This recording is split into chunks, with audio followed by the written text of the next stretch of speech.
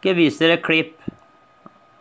Første gangen eh, Hillary Clinton uttaler seg etter denne katastrofale tapet hun hadde, vet du.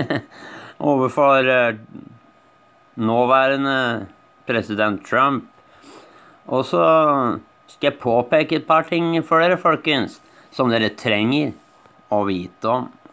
I'm proud to be a maker and to support Maker's mission to share women's stories and celebrate women's vital roles in the past, present, and future of our country. Despite all the challenges we face, I remain convinced that yes, the future is female. Ok.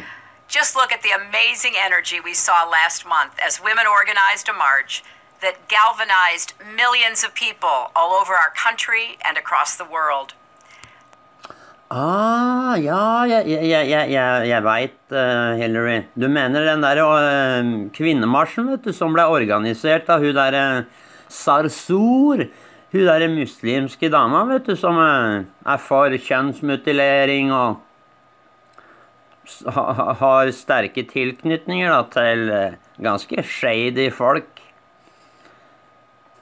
Så er ikke det et oksymoron? Og ikke nok med det, men vi veit også at hun er sponsa av George Soros sine organisasjoner. Hun derre Linda Sarsour, tror jeg heter.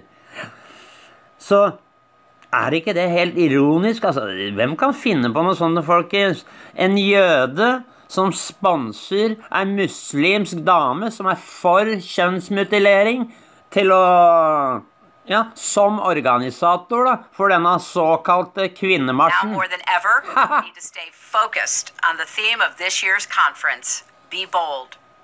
We need strong women to step up and speak out. We need you to dare greatly and lead boldly. So please, set an example for every woman and girl out there who's worried about what the future holds and wonders whether our rights, opportunities, and values will endure. Kanskje dere Kanskje du også skal si til dem, disse tilhengerne deres, disse som eh, holdt denne marsjen og sånn, da, at de ikke skal drive og knuse vindusruter, sette bygninger i brann, slå ned folk uprovosert. Vet du hva? Hvem, hvor er det du får rådene dine fra? Jo, det veit vi jo, Hillary. Det er jo Eleanor Roosevelt, som er dau. Hun er død, Hillary. Hun er død! Skjønner du ikke det? Hvorfor prater du med daue folka? Hæ? Har du mentale problemer, eller? Nei, du har ikke det.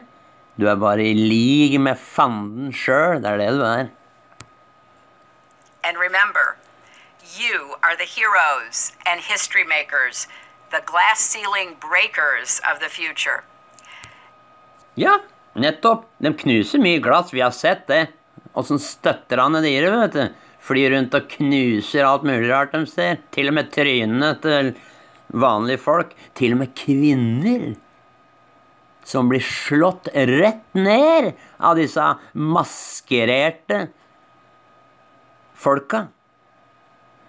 Som marsjerer din sak og det du står for.